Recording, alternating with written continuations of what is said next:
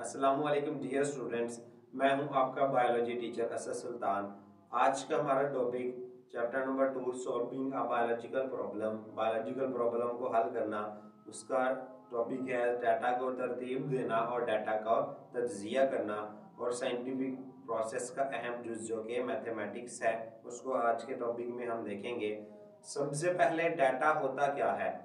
Data से मुराद, मुशाहदात और तजर्बात के नतीजे में हासिल होने वाली मालूम ठीक है, मसलन नाम तवारीख मकदारें वगैरह, यानी मुशाहदात और तजर्बात के नतीजे में जो कुछ भी हमें हासिल होता है, चाहे वो कोई नाम है, वो तारीखें हैं, वो कोई मकदार है, उसको हम डाटा कहते हैं। डाटा सिंपली साइंस में हम इंफॉर्मेशन को लेते हैं।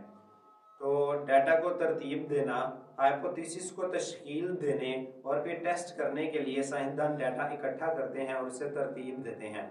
कोई तजर्बा करने से पहले साइंसदान के लिए डाटा इकट्ठा करने के तरीके बयान करना बहुत अहम है।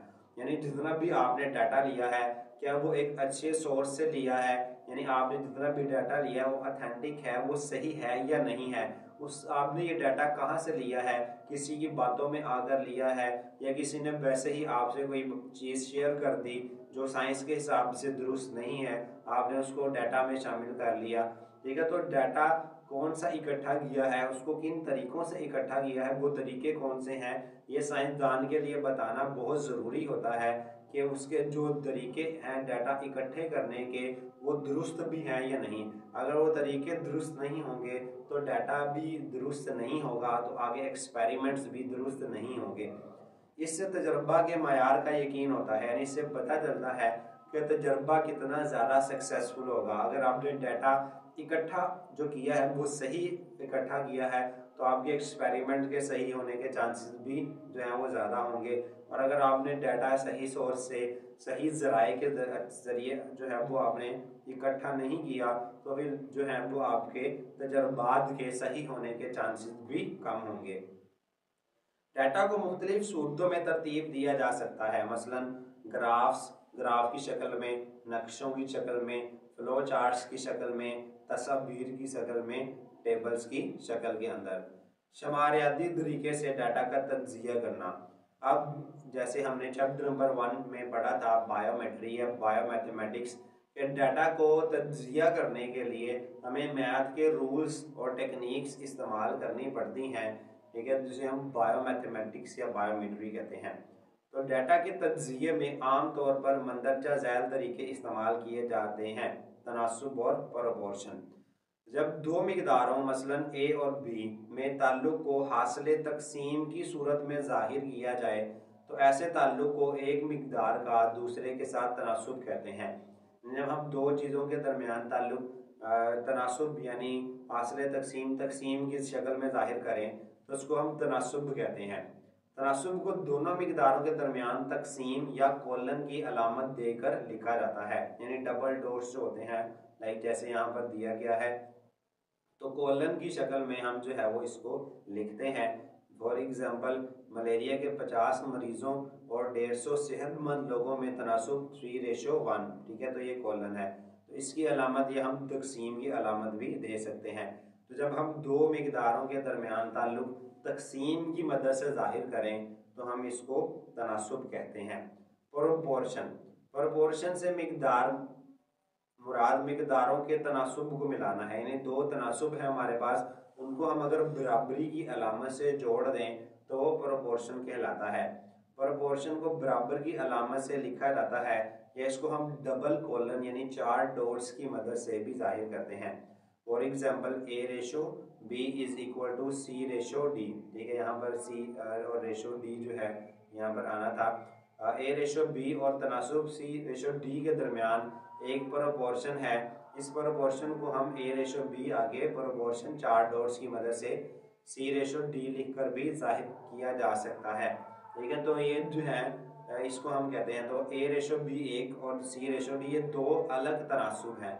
जब इन दोनों तनासब को हम इस बराबरी की अलामत से जोड़ देंगे तो ये प्रोपोर्शन बन जाएगी।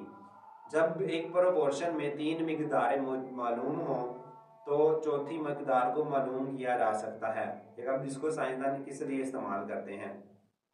अब जब एक्सपेरिमेंट्स जो हैं, वो सिंपल होते हैं, कम होते हैं, या छोटे पैमाने पर होते हैं तो वो इन चीज़ों को काउंट कर सकते हैं। लेकिन जब एक्सपेरिमेंट्स जो है वो बड़े पैमाने पर होते हैं तो साइंसदान हर एक चीज़ को वो काउंट नहीं कर सकते तो फिर वो प्रपोर्शन को इस्तेमाल करते हैं। मसलन जब एक बायोलॉजिस्ट को चिड़िया मुतासरा मच्छरों से कटवाता है तो वो मालूम कर सकता है कितनी चिड़िया जो है वो आ, मलेरिया का शिकार होंगी। मलेरिया ठीक है?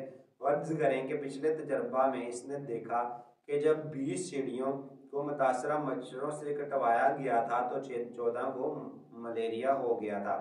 यानी अब उसने 20 जो है चिड़ियों को कटवाया जिसमें से चौदह को मलेरिया हो गया। अब उसने तो एक्सपेरिमेंट छोटा था, बीस को उसने काउंट किया, चौदह को भी वो काउंट कर लिया गया। अब वो सौ चिड़िया को कटवाएगा तो उसमें से वो हर एक की अलामत देखे, हर एक को देखे कि किसको जो है वो मलेरिया हुआ है, किसका नहीं। ठीक है? तो सौ के सौ के ब्लड सैंपल को चेक करना, उनकी अलामत चेक करना तो ये मुश्किल है बनस्बत बीस के। इस तरह अगर वो सौ की बजाय अगर हज़ार जो है वो चिड़िया लेता तो अब हर एक का खून चेक करना, हर एक की अलामत देखना, वो बहुत ज़्यादा मुश्किल हो जाता।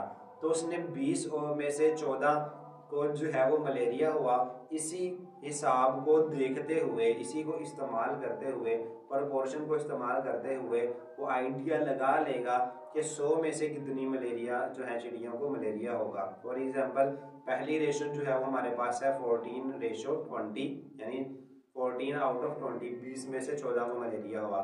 सेकेंड रेशो क्या है? X ratio hundred how many out of hundred यानी अभी सौ में से कितनी को होगा? तो प्रपोर्शन इसकी क्या बनेगी? फोर्टीन रेशो ट्वेंटी आगे प्रपोर्शन एक्स रेशो हंड्रेड तो हमने देखा कि हम इसको तकसीम की मदद से भी ज़ाहिर कर सकते हैं और तकसीम को हम बटे के अंदर भी लिख सकते हैं। तो हम इसको इस फॉर्म में ले आए X over hundred fourteen over twenty अब आपने पढ़ा हुआ इसको मैथ में क्या इसको क्रॉस मल्टीप्लाई कर देते हैं, यानी एक्स ट्वेंटी से मल्टीप्लाई हो जाएगा फोर्टीन हंड्रेड के साथ। तो ये हमारे पास इस तरह आ जाएगा। ठीक है तो हमने एक्स मालूम करना है तो ट्वेंटी जो है वो इक्वल के इस तरह मल्टीप्लाई हो रहा है, दूसरी तरफ़ जाके डिवाइड हो जाएगा। ट्वेंटी उस तरफ़ जाके जो है वो क्या हो जाएगा?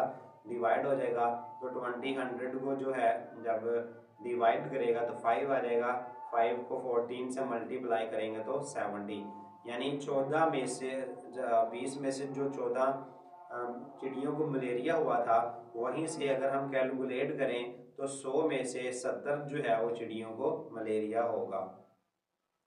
उसके बाद आता है बायो इन्फॉर्मेटिक्स बायो इन्फॉर्मेटिक्स से मुराद बायोलॉजिकल डाटा का तजिया करने के लिए कंप्यूटेशनल और शुमारियाती तकनीक का इस्तेमाल करना है। यानी कंप्यूटेशनल कंप्यूटराइज्ड और शुमारियाती स्टैट की, यानी मैथ के नॉलेज को इस्तेमाल करना डाटा का तजिया करने के लिए। ठीक है, यानी जब भी हमें डाटा मिल रहा है, उसको एनालाइज करने के लिए हम कंप्यूटराइज्ड यानी कंप्यूटर की स्किल्स इस्तेमाल करें। या हम जो है वो मैथ की स्टैट्स होती है, एक शुमारियाती तकनीक, उसको स्टैट को इस्तेमाल करें, मैथ को इस्तेमाल करें, जिससे हम डाटा को एनालाइज कर सकें, उसे हम कहते हैं बायो इन्फॉर्मेटिक्स